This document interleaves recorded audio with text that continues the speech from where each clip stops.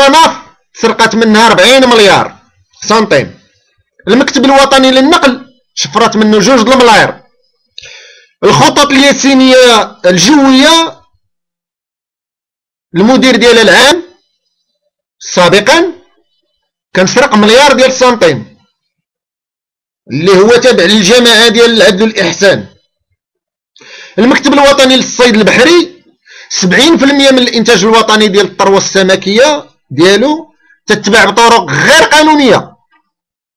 مكتب التكوين المهني تشفرت منه سبعة ديال الملاير ديال السنتيم اللي مكلفة به طبعا جماعة العدل والإحسان وكالة المغرب العربي للأنباء تشفرت منها سبعة ديال الملاير ديال السنتيم و 600 مليون سنتيم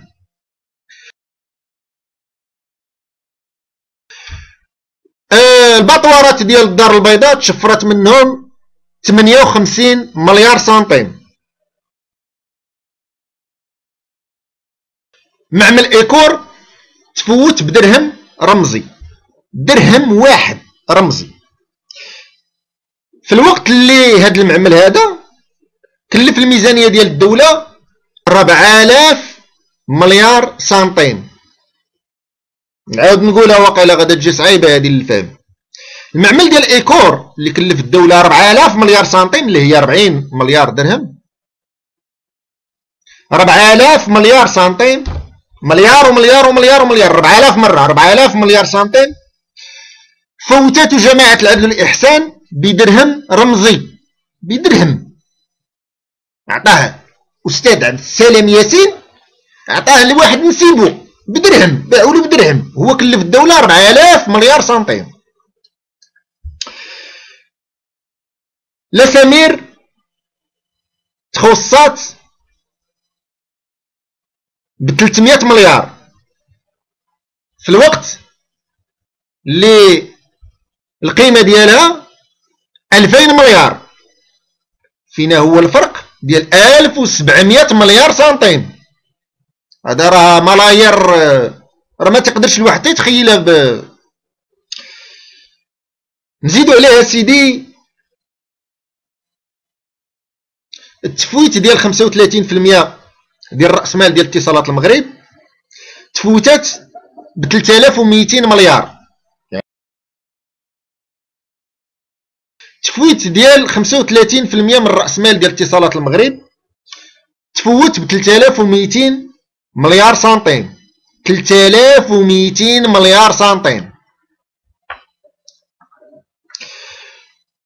في الوقت اللي شركات دولية قدرات القيمة بعشرة آلاف مليار سنتيم وتصوروا الحاجة كتسوى عشرة آلاف مليار سنتيم فوتاتها العدل والإحسان آلاف وميتين مليار سنتيم فين مشات ستة آلاف وثمانمية مليار سنتيم عرفتي شحال ديال الفلوس؟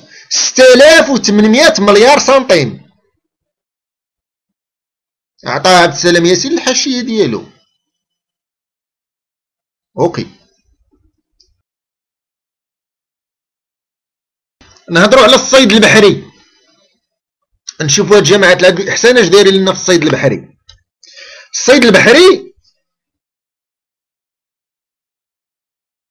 واحد السفير سابق في الأمم المتحدة كان عينو طبعا عبد السلام ياسين. عنده سبعة ديال الرخص ديال الصيد في أعالي البحار. هذا راه معينو عبد السلام ياسين. واحد المؤسسة اقتصادية خاصة ديال نسيب عبد السلام ياسين عندها 30 رخصة ديال الصيد في أعالي البحار. وعندها 35 بابور. دابا غنهضروا على الجناح العسكري ديال جماعة العدل والإحسان.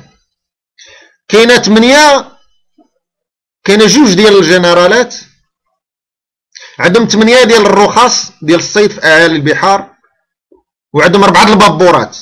كاين جنرال آخر عنده 19 رخصة ديال الصيد أعالي البحار. وعما نهضروش على واحد النصيريني عايش عندنا في المغرب عاطينو إقامة دائمة في المغرب حيت هو مصاحب مع عبد السلام ياسين. صاحبو. بزاف. عاطينو ثمانية ديال البابورات والرخصة ديال الصيد. تيضل يصيد في البحورات ديالنا. حرام في عينو.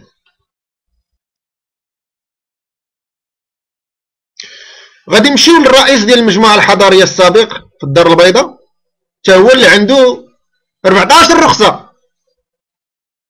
عنده علاقات وطيدة بجماعة العدل والإحسان.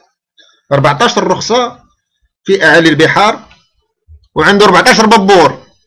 كل ببورة ببور.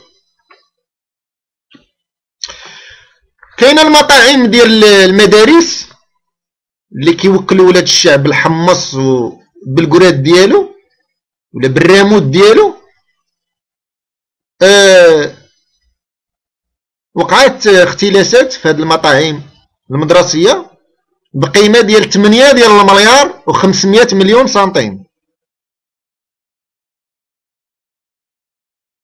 وغادي نحشم بزاف. فاش غادي نقول لكم؟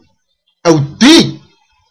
راه الفضيحة ديال الصندوق الوطني للضمان الاجتماعي اللي كان تيشرف عليه عبد السلام ياسين شخصيا وهو تحت تصرف ديال جماعة العدل والاحسان شفرات منه 11500 مليار.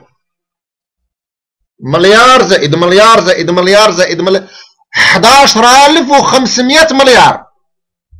بقى تحسب في الملاير تطيب مخك بالملاير إلا جمعنا كاع هاد المليارات هادو اللي تشفروا كاملين. وخديناهم لجماعة الإحسان. واش ما غنديروش من المغرب جنة ديال الله سبحانه وتعالى فوق الأرض؟ غادي نديرو منا جنة ديال الله سبحانه وتعالى فوق الأرض. حاشا ولي يتمثل ولكن غادي نزيدو بالمغرب القدام بزاف. كاينة وسيلة أخرى عاوتاني باش نحاربوا جماعة العدل والإحسان. خاصنا ننشر وسط الشعب على أن جماعة العدل والإحسان من 2006 لدابا. عي في الدار البيضاء بوحدها. سدات وريبات بالهمهمات ديالها. تابعة لجماعة العدل والاحسان ريبات ما يزيد على 700 جامع عي في الدار البيضاء بوحدها. ريبات ما يزيد على 3000 جامع في المغرب كامل. بأمر من عبد السلام ياسين شخصيا. زيد على ذلك. من الأحداث ديال 16 مايل دابا السرايا العسكرية تابعة لجماعة العدل والإحسان اعتقلت ما يزيد على 8000 إنسان بتهمة الإرهاب.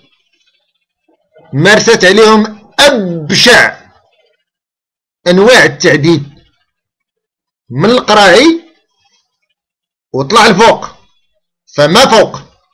أضعف الإيمان هي القراعي فما فوق؟ بأمر من عبد السلام ياسين شخصيا بلا ما نهضروا على الدور ديال القرآن لجماعة العدل الإحسان كان عندها سبق تاريخي بس سدات سبعة وستين دار للقرآن في وجدة جمعية الإمام مالك الثقافية وفاش جمعية الإمام مسلم وفي قلميم جمعية دار القرآن والشماعية جمعية الإمام مالك لتحفيظ القرآن وفي القنيطرة جمعية سبيل الثقافة ومولاي بوعزة دار القرآن. وفي خنيفرة جمعية الإمام بخاري في خنيفرة عاوتاني جمعية الجمعية الإسلامية لحفظ كتاب الله ومدارساته. في سلاحين بيعات جمعية القاضي عياض لتحفيظ القرآن الكريم. في سلاحي سيدي موسى جمعية القاضي عياض لتحفيظ القرآن الكريم. في سلاح عاوتاني جمعية القاضي عياض لتحفيظ القرآن الكريم. هادو كاع سداتهم عدل آه، جماعة عدل الإحسان. كاع الدور القرآن سداتهم جماعة عدل الإحسان.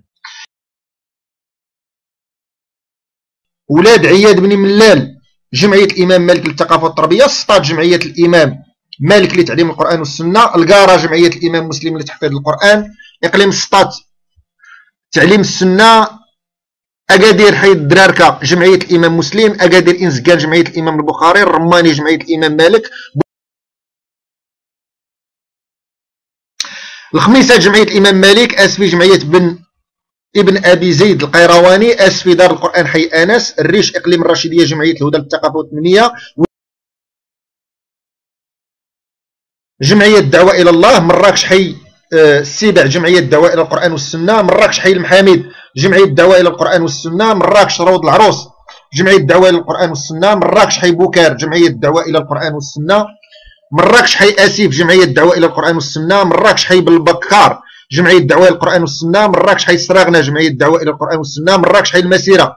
جمعية الدعوه إلى القرآن والسنة مراكش حي أزلي. جمعية الدعوه إلى القرآن والسنة إيمنتانوت جمعية الدعوه إلى القرآن والسنة. تحناو جمعية الدعوه إلى القرآن والسنة. الدار البيضاء حي المحمدي جمعية الدعوه إلى القرآن والسنة.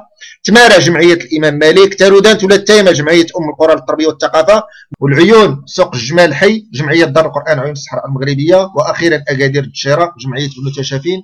في انتظار دور قرآن أخرى. غادي يسدها إن شاء الله الرحمن الرحيم.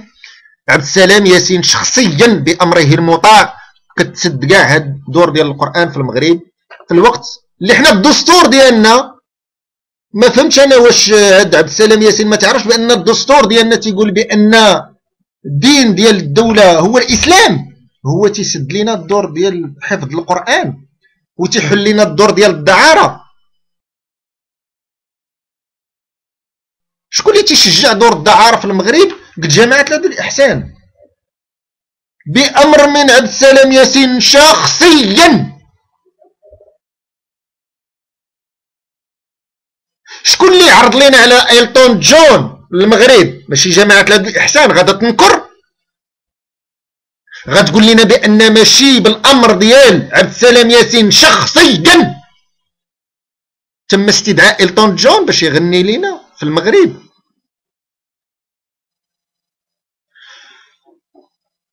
واش غادي ينكر شي حد بأن الفلوس ديال المغاربة تتبعتر في مهرجانات ديال الموازين وكتبعتر في وسائل الإعلام عندنا في التلفازه اللي كيمولها الشعب من فلوسه؟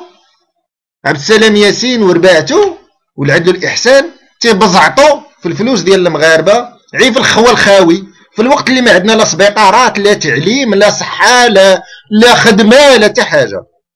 على اين غادي نرجعوا في حلقة قادمة باش غنعطي واحد استراتيجية كيفاش نخبلو أي تنسيقية. غادا تكون ديال الحركات ديال 20 فبراير أو الحركات ديال صرخه الشعب المغربي. غادي نعطيو واحد الاستراتيجيه ودابا يمكن لينا نعطيو عليها فكرة.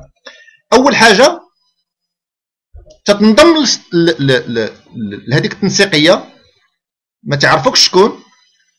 وتتبدا أي واحد تشم فيه الريحة ديال العدل الإحسان تتبدا تهضر مع كل شيء التليفون موجود سكايبي موجود. كتستعملوا أي مخزاني يستعمل لنا سكايبي والتليفونات ويبدا يعيط على الناس اللي في التنسيقية واحد واحد. وبدا يقول لهم بأنها التنسيقية استحوذت عليها العدو الإحسان. هربوا منها هربوا هربوا هربوا. باش هما يخافوا هربوا خصنا نبداو نستعملوا الفزاعة ديال الإسلاميين. خصنا نبداو نصوروا للشعب المغربي والرعاية ديال سيدنا الله ينصر علينا جل جلاله بأن العدل والإحسان هما أخطر دمس على وجه الكرة الأرضية. هادشي إلا قلناه ولا درناه حنا كمخزن ولا قالوا سيدنا نصره الله علينا جل جلاله. فغير باش نعيشوا مزيان ونزيدوا بهاد هاد البلاد القدام إن شاء الله الرحمن الرحيم. ويعرفوا الرعايا الأوفياء بأن المغرب راه زوين وحنين وبنين وفيه الديمقراطية وفيه حقوق الإنسان وفيه الكرامة ديال الإنسان وفيه الحرية وفيه كل شيء. موعدنا الأسبوع المقبل إن شاء الله الرحمن الرحيم. في حلقة جديدة وإلى اللقاء.